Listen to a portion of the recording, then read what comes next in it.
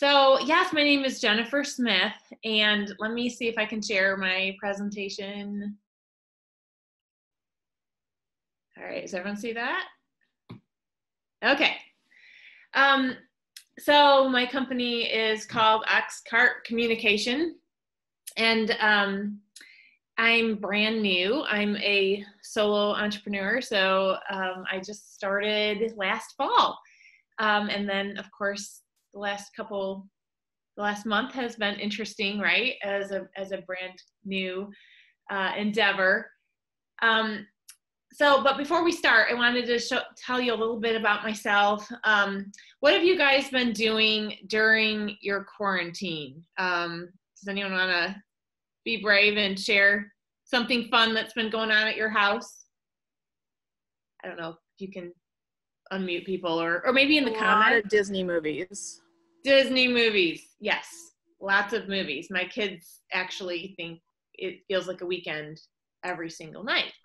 Wow. Um, lots of movies, uh, maybe some new hobbies. Um, I actually have been um, going through old pictures. So I'm going to be brave and share a couple. Okay, so this is me as a little, like, four or five year old. And unfortunately, my mother had two daughters and really wanted a boy. And she got me. So as you can tell, I, I sported that boy haircut for all of my childhood um, until I got old enough that I told my mom I wanted to grow my hair longer than a boy. And then I came up with this gem. Yeah, I'm the middle one. Um, yeah, that's some that's some good 80s, huh? That's that's a I mean, the primary colors.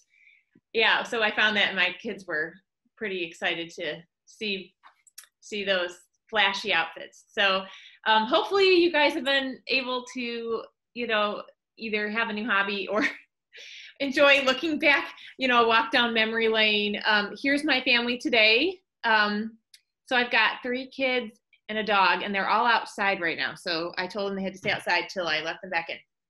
So I'm about ready. I, I locked the door and told them not to come in. So hopefully they stay.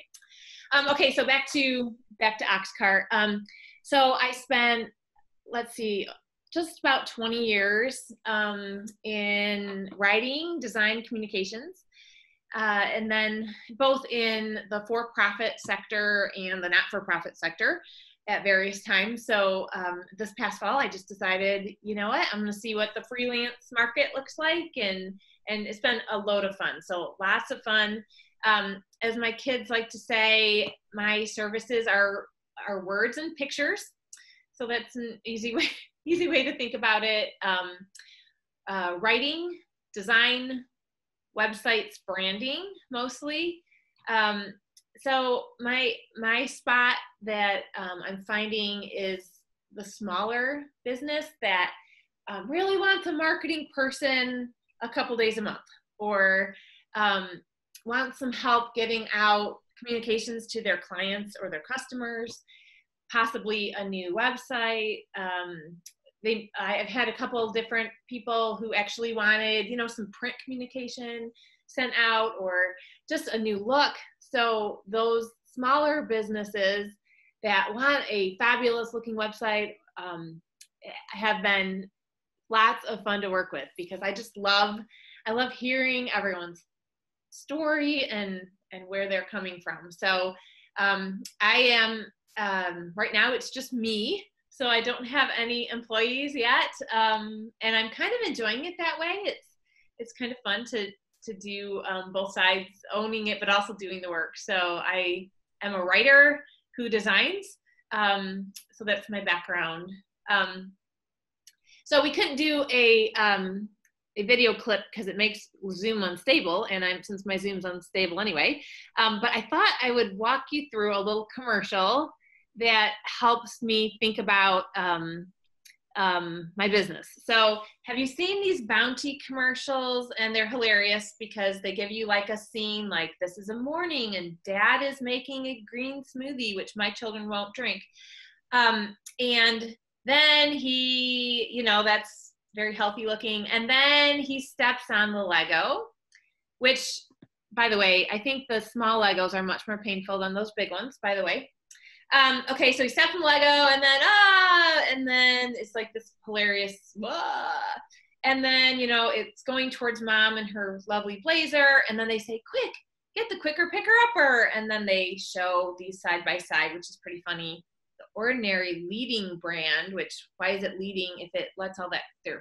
So what I wanted to quick talk about is this idea of saturation um, and using that commercial as just a, a, mental image of what saturation looks like.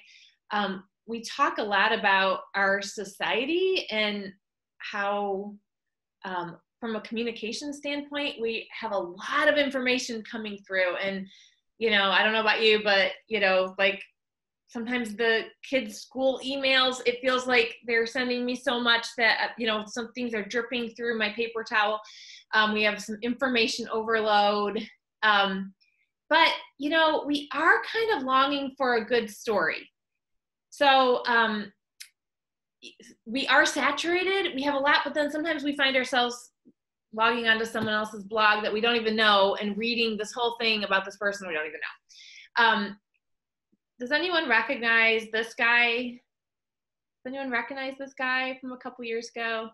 Um, this young man's name is Tyler Trent.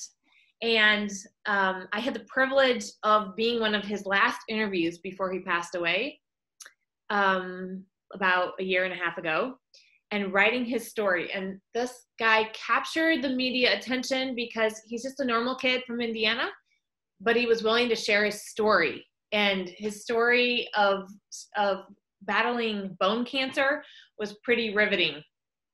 So I had the chance to interview him, write his story, and um, finding out that like everybody does like a good story. So as as I my tagline is deliver your message, and I guess I just want to encourage each of us to identify what our message is, identify who our message is for. You know, who is your like like Leisha was saying, who is your sweet spot? Who are you going for? Identify your method. Um, how are you communicating to those people? And then who are your partners? So that's my spot. I love to um, partner with uh, small businesses, especially, but also medium sized. Um, so, yeah, but before we go into questions, I think my time's up. But before we go into questions, I, I want to answer the first question that you're all thinking because because I know exactly what you're thinking. And your first question is going to be, why is it called ox cart? Is that right? Is someone thinking that? Um, so the ox cart, so this started when I visited India when I was in college. And I saw this image of, you know, right alongside of these modern, like um, on a modern highway, there would be this ox cart, you know, full of stuff going into the city, into the market. And so, how will you get your goods or services to market? How is anyone going to know about you? Um, communications is a vehicle, just like that humble ox cart, getting your goods or services to market. And so, deliver your message. And it's a little bit memorable, I hope. so, all right, so questions? I think I'm my Am I out of time? I don't know. No, you're perfect. We've still got time for questions.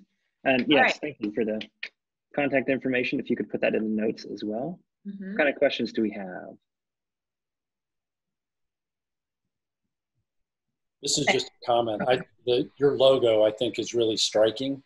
Um, and I think it does a good job of being able to support what you're trying to do. But it's it's unique, and so uh, just wanted to say, nice job on that. Thanks. You know, when you're starting a new business, and you know, so many of us have done these Google searches, right? You know, you don't want to be something sketchy or something we- too weird, right? But you also want to be memorable. So, um, and orange is my favorite color, so that's why it's orange. but trying to find that spot to get your, you know, get your goods or services to the people that need to know about them.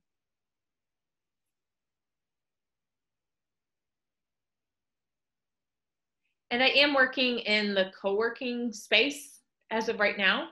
Um, I usually come during school but now I'm a homeschool teacher.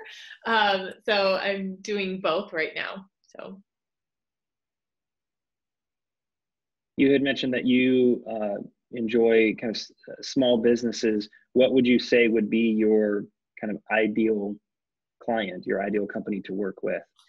Right. I I love listening to the dreams of entrepreneurs. It's a blast to hear where they've come from and how they got to this spot. Um, and so I I really love those small to medium sized businesses. The you know the ones with you know 10 to 15 employees who are getting big enough that they really want to to look professional and to really have have a great product or service, but they just aren't big enough to have a marketing department. So um, I so I'm I love being their partner. I love being that I can go in and talk to them and find out what they're trying to communicate, and then I'm the one that actually does the work too. So um, all my career, I was kind of that one man show, marketing department. You know, a lot of times marketers, it's one or two people and they're doing everything, and so I really I really do enjoy that size.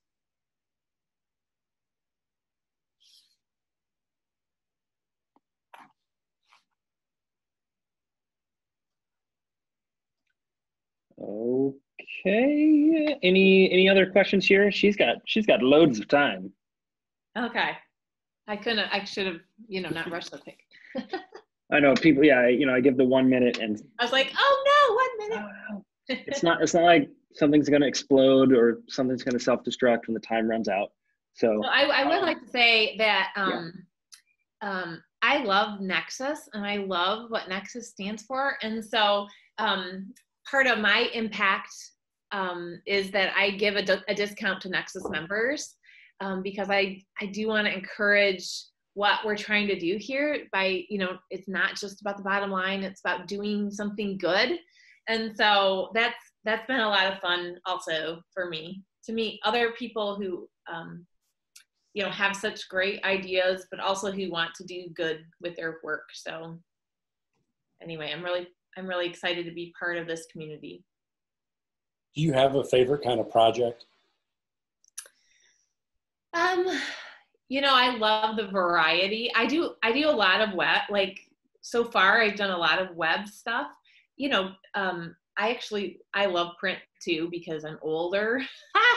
but it it's it's so fun to do both. I, I love doing like um, maybe coming up with a look and then letting that translate both from like web and and then moving into everything that you have from your business cards um, any print stuff you have laying around having it all have the same look is is a lot of fun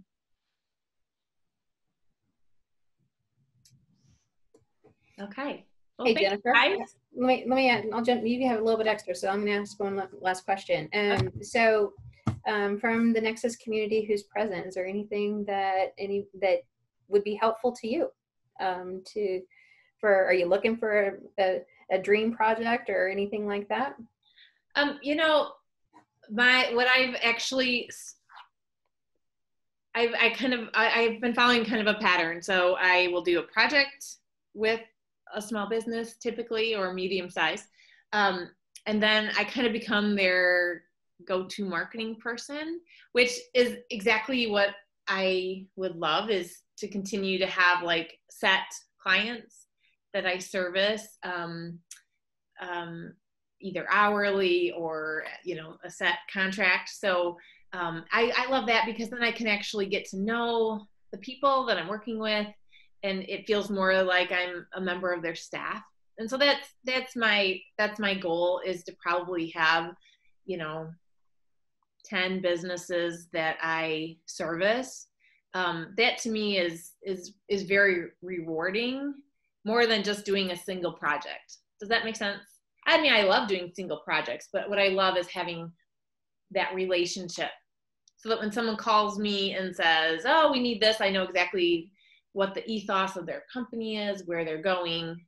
So, and that's actually happened already uh, in the last six months. I I already have several companies that I'm working with, and then they feel comfortable just giving me a call, and we have this little thing, um, and I already know who they're talking about. I know the players and all that. So, that's what I'm hoping to continue. Very cool. Thank you, Jennifer, for that. Great. And uh, if you could, yeah, put in the the chat your contact info, and I, I know that we can get get that on the portal as well.